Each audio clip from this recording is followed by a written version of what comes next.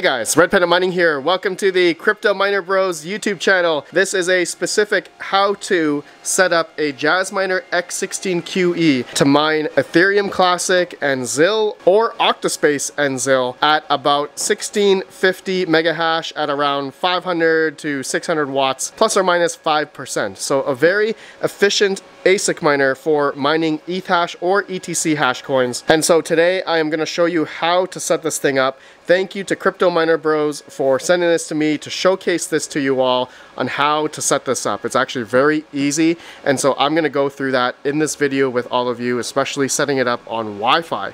So one of the big benefits of one of these Jasminer miners here is that they are very quiet and also they can run on 120 volt power as well. Okay, so you can, in theory, put this anywhere around your house and you'll be able to heat a single room or just have a miner anywhere in your house because it also has Wi-Fi as well. So the only cable you'll need is basically power.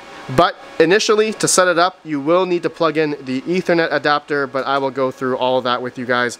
How to set it up to a mining pool, wallet, and all that kind of stuff. Okay, so without further ado, let's begin. Okay, so when you unpack the Jasminer X16QE here, it will also come with ears okay, rack mounting ears that you could rack mount this to a server rack if you wish to do that. This is a 3U heighted device, so yeah, it can go into a server rack, no problem.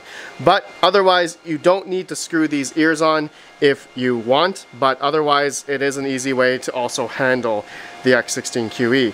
Okay, but anyways, next step in order to set this up, okay, so we're gonna need to plug in an ethernet cable, just for the beginning part of it and once you get into the web GUI, the website of this thing basically, it's then that's how we can configure it and configure it to join your Wi-Fi network. Next, you will need to purchase a power cable. It will not come with a North American cable like this, so you'll probably have to purchase this on Amazon or go to infinitecables.com. They have these typical computer power cables. You might have one around your house, so you just need to simply plug it in into here okay?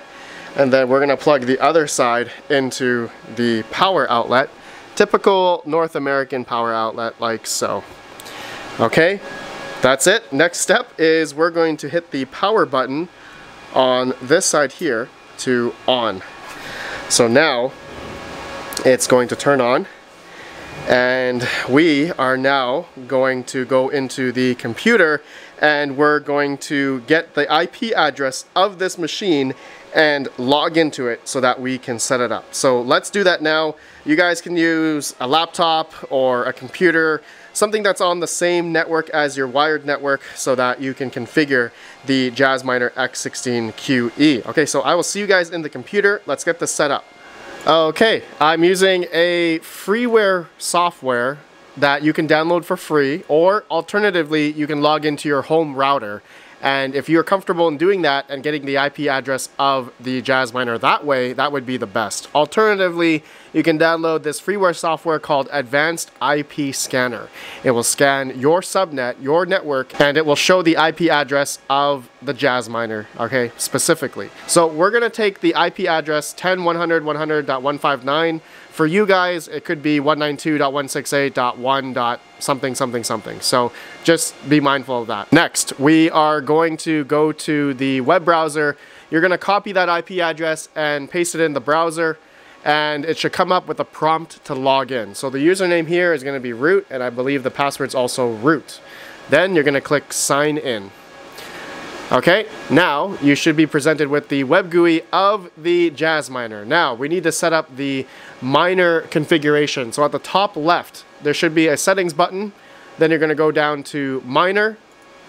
And this is where we are gonna enter in our pool information and also depending on where you're mining you need the worker name as well okay? So we're gonna show you guys how to do this. So before we do any of this actually we need to determine which mining pool we need and also we need a wallet for either Ethereum Classic or Octaspace if you decide to mine these two coins as well as it can dual mine with Zilliqa as well, merge mining with ZIL. So one of the best ways I like to store my Ethereum Classic or even Octaspace is through a cold storage solution called Tangem. I have a specific redpanda.tangem.com. This is a cold storage wallet that I'm affiliated with. They got a lot of the top coins like Bitcoin, Kaspa, Litecoin, Dogecoin. Of course, they have Ethereum Classic and Octaspace as well. Unfortunately, they don't have Zilliqa yet. So you'll have to download a third-party wallet for that. Alternatively though, if you don't want to buy this, you can download the core wallets for Ethereum Classic and Octaspace as well. Okay, but anyways, let's now choose the mining pool. Okay, so let's go ahead and try Ethereum Classic uh, mining pools here. There's a lot of them here, but my preferred one is going to be K1 Pool as they have a lot of compatibility with a lot of the different miners out there, such as the Jasminer. So they have a specific Jasminer port okay, server port, depending where you are, China, USA, or Europe. And this is where you can copy the pool address for the miner. Okay, so I'm using the Jasminer X16 here. We're gonna copy this and we're gonna go back to the web GUI of the Jasminer and this is where we are going to paste that into here, okay, for pool number one. Now, you can do the backup pools as well. It's recommended to do that. So backup pools will be in the different countries like China or Europe or USA, depending where you are. So I'm gonna copy the China one as well, paste that in number two, and also in Europe as well for number pool number three. This is just to have a backup pool in case any one of these go down. Now, you'll need to put in the worker name. Okay, so this is where on K1 pool, okay, you're going to want to create an account. Okay, this is going to be an account-based one. Um, you're not putting in your Ethereum Classic or Octaspace. It's going to be the account name. Okay, so I'm just going to log in here with my Google account, and you guys can do the same thing.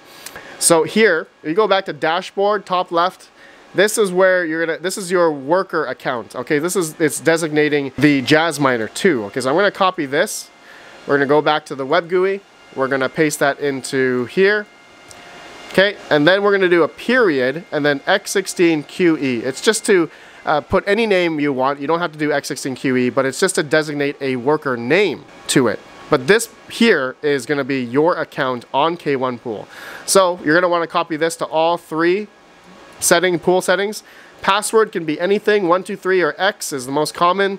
And uh, that's, that's all you need to do. Okay, then we're going to go down here. Since we're mining Ethereum Classic, um, the pool protocol is going to be get work. Okay, coin select. So this is where you'll want to select uh, ETC and ZIL. Okay, so this is what we're mining for ETC ZIL. If you're going to do Octaspace, you'll want to change this to ETH okay? Then work mode uh, there's four different work modes here but I have mine on performance ultra. I want to get the most hash rate.